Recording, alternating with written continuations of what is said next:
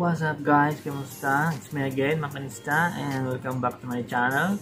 And for today's vlog, uh, explore ko naman kayo sa main engine kung saan yung working place ko. And correct me if I'm wrong mga sir ha. Lahat ng sasabihin ko rito based on my experience lang and yung mga alam ko lang. And then, explain ko na sa pinakamabilis maintindihan ng lahat. Lalo na sa mga first time na sasampa ng barko na taga-engine and lalo na sa mga viewers ko para alam din nila kung ano itsura ng main engine. And aware sila. Napakaingay ng tulog ng main engine guys. Kaya lagi tayong nag, lagi kami nagsusot ng air plugs kagaya nito. Yan para iwas tayo mabingi. O di kaya naman ito. Airpods. Kick.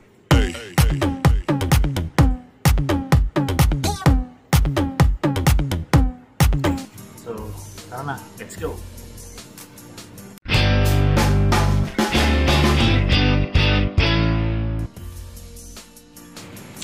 Alright guys, simulan natin rito sa baba sa first floor or sa bottom floor. Dito yung aking area. Dito yung mga location ng mga seawater pumps. Ito yung harbor cooling seawater pump guys. 1 and 2 main cooling seawater pump. 1 and 2 ballast pump.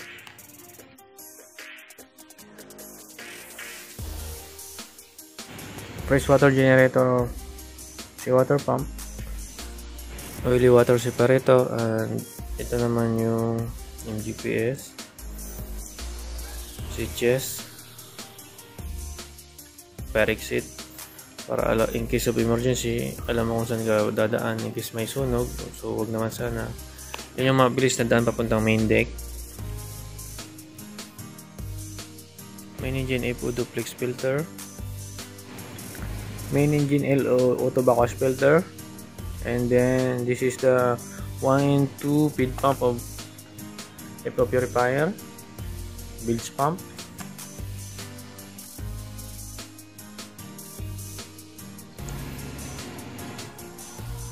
Yan ini-start lang to bago mag-start yung makina and pagpara ng makina para mag-lubricate yung LO sa main engine.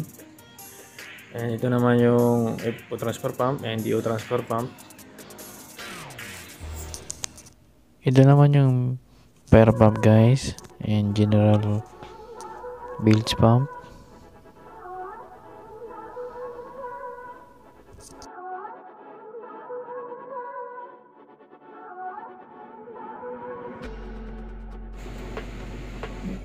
main engine LO feed pump. Ito naman yung LO transfer pump. Pag magkarga ng samtang sa main engine ito naman yung turning gear. Ginagamit ito para ma-turning yung flywheel sludge pump.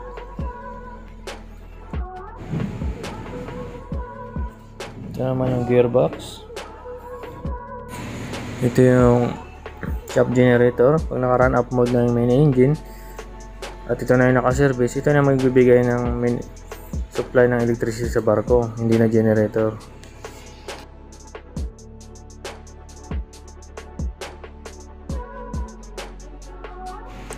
naman yung flywheel guys. Kita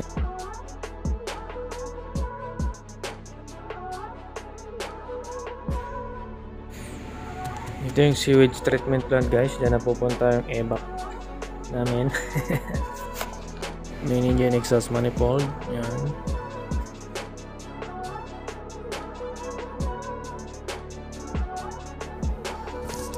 Ito yung CPP guys, 1 and 2.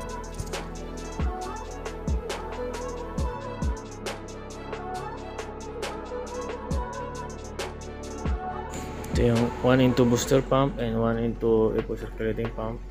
Ito yung operational dito yung panel board niya kung paano i-operate.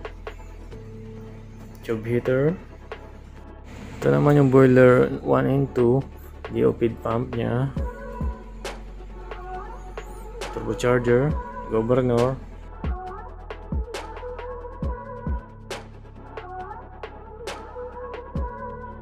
Main engine, 8 cylinder. Number 2 settling tank. And then service tank. And then ito naman yung number 1 epo settling tank.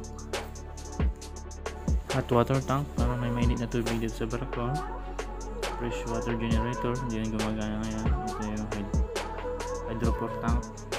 Ito parang pressure tank namin na magsusupply ng tubig papunta sa accommodation. Galing sa fresh water tank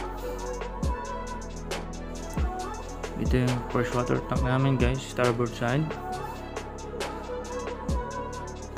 Ito yung ilo cooler 1 and 2 LT cooler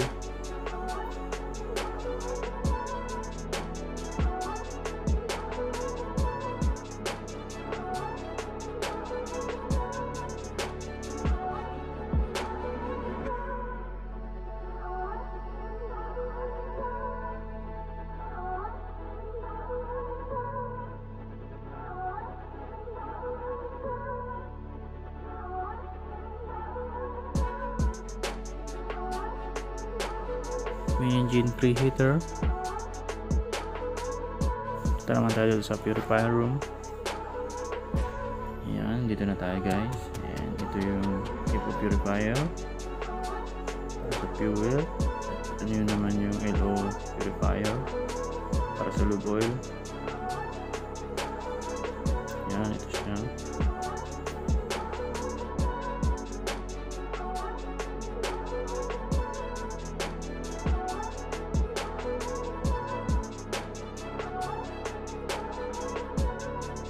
Ito naman yung port side freshwater tank. At tara na guys sa third floor.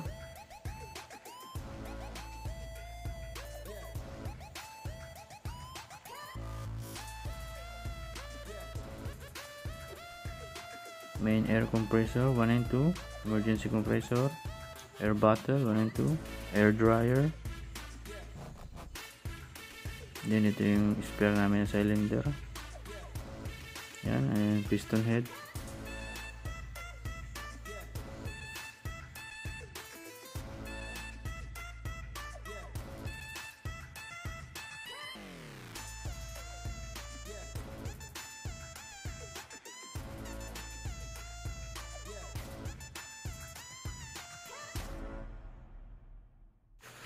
Ito yung generator namin guys tatlo to. Yung number 2 ito naman yung number 3 brand nito is Yanmar and for 50 kilowatts. Diesel lang yung ginagamit rito. 6 cylinder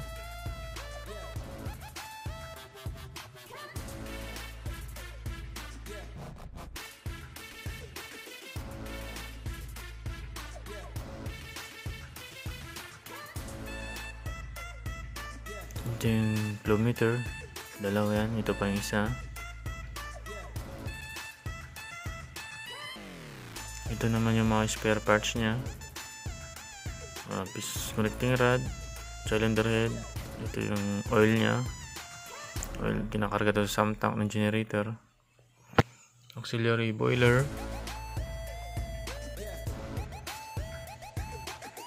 Ito yung operational manual nya kung paano i-operate punta naman tayo dito sa steering gear room. Yan dalaw siya dalawang pump.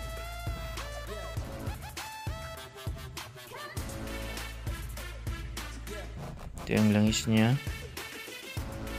Yan kailangan check mo lagi yan kung mayroon pa ba wala na.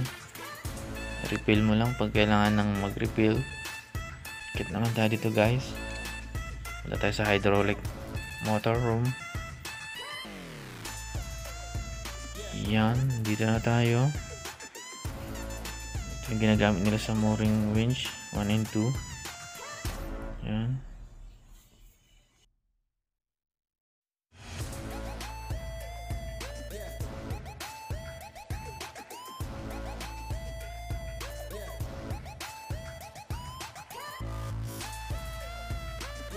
Dumako naman tayo dito sa emergency generator room.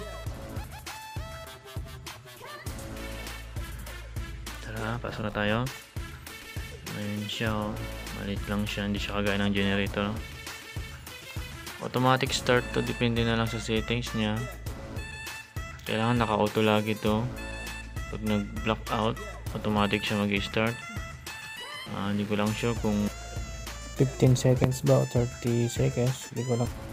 Depende sa settings na sinit ni second engineer.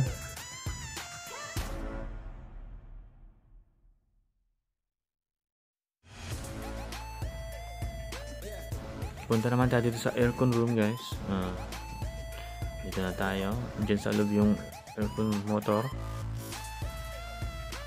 Ayan yung temperature gauge niya. Ito yung gravity tank. Hydraulic. Ito yung compressor ng aircon. Ito yung mga preyon niya. Yung switch. Ito yung sanitary fan.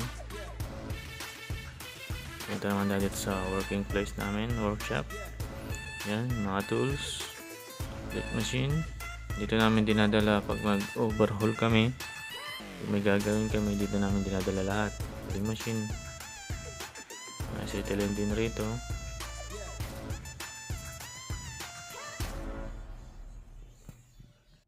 Dito naman yung spare room. Yan, dito nakalagay lahat ng mga spare na ginagamit namin. Mga bearing. Ito yung ginagamit namin pag mag-calibrate kami ng fuel injector ng generator and sa main engine. Ayun yung sa generator. Ito yung naman sa main engine. Ito naman yung reefer pump. Ginagamit yan para palamigin yung chamber para hindi mabulok yung mga pagkain dun. And then mga bulb, gasket. Dito naman tayo sa gym. Ay, sa ano pala, sa racing room namin. So, may mini gym dyan. Ayun, Game of Thrones. Diyan ka maupo. Labas naman tayo. Ito yung thermal oil pump, 1 and 2. At dito na tayo sa uh, pinaka-paborito ko sa lahat na part ng main engine. Sa main engine control room. Yun. Tarang! Dito na tayo. Dito namin namomonitor lahat. Mga alarma. Mga temperature. Yan. Yan, kalendaryo. Malapit na tayong umuwi.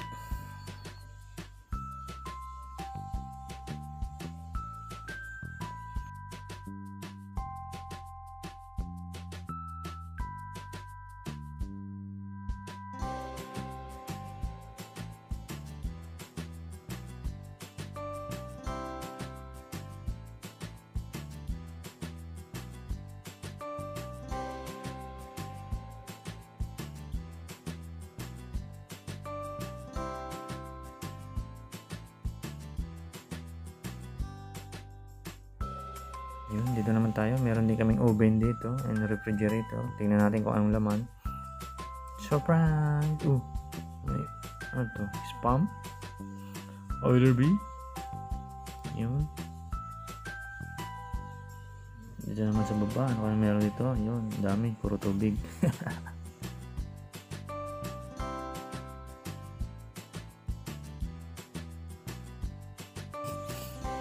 ito yung binabantayan ko dito guys yung orasan. Libero lang ito. Ito. Fuel temperature ah. yan. Kaya nandiyan na siya. Temperature niya ito yung LT temperature. Yan. Ganito kaingay yung tunog ng main engine guys pag nasa navigation kami.